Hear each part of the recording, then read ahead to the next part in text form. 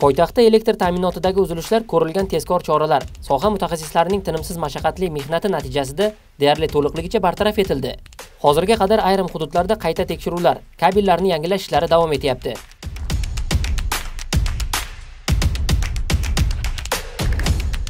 Ayni vaqtlarda yunusobod tumani elektr tarmoqlari korxonasida tuman hududidagi elektr bilan bog'liq uzilishlarni bartaraf qilish yuzasidan sektorlar bo'yicha tuzilgan guruhlarga yo'riqnoma berilmoqda. Jarayonlarni birgalikda kuzatamiz.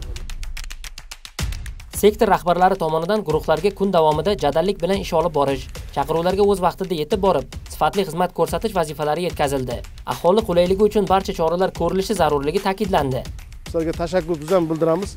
Yunusobod tuman sektor rahbarlari nomidan yana shu kundalik belgilangan ishlarimiz bor. Ana mutaxassislar hozir beradi sizlarga kunlik yo'nalishda yana bugun davom ettiramiz.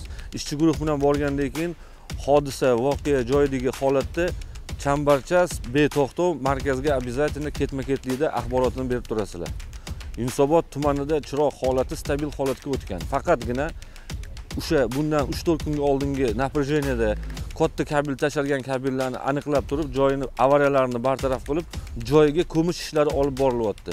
Elektr tarmoqlari mutaxassislari hamda ichki ishlar organlari xodimlaridan iborat guruhlar chaqiruvlar bo'yicha tezkorlik bilan manzillarga yetib borishmoqda.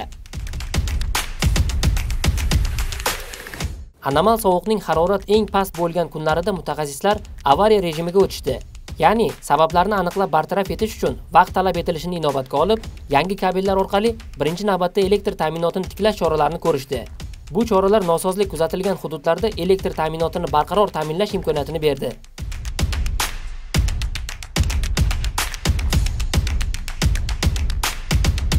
Biz namangan hudud tarmoqlaridan poytaxtga yordam keldik. Anomal sovuq tufayli yuzaga kelgan avariya uchishlarni bartaraf etish choralarini ko'rdik. Bu yerda biz avariyaviy rejimda xonadonlarni elektr ta'minotini yo'lga qo'ydik. Avariya rejimdan barqaror ishlash rejimiga o'tkazish maqsadida joylarga kelib shikastlangan kabellarni nuqsonlarini topishda va ularni bartaraf etish choralarini ko'rishda ishlarni olib bormoqdamiz. Ayni kunlarda maxsus laboratoriya texnikalari yordamida nosozliklarning sabablarini o'rganish kabellarning uzilgan qismlarini yangilash bo'yicha ishlar olib borilyapti. Qoraqalpog'iston respublikasidan nukusdan kelganmiz. Bu жаңадан kelgan laboratoriyamiz kabelning uzilgan yerlarini aniqlaydi ham жағып metrajlarini ko'rsatib beradi. Bu yerda uzug'in saplashtiramiz.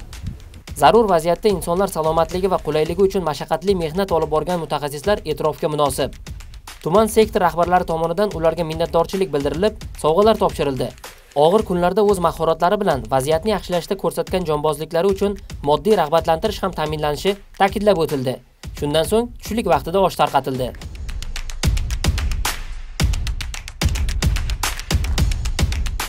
Odatdagidek chiroqlar charaqlab turgan kunlarda ularning mehnati go'yoki bilinmayotgandek edi. Mana vaziyat ko'rsatdi. Ular ham haqiqiy zahmatkash chinakam xalqparvar inson ekanliklarini isbotlashdi. Xullas mehnatkash fidoilar birlashib ko'pchilik bo'lib uddalab bo'lmasdek ko'ringan vazifani mahorat bilan uddalashdi.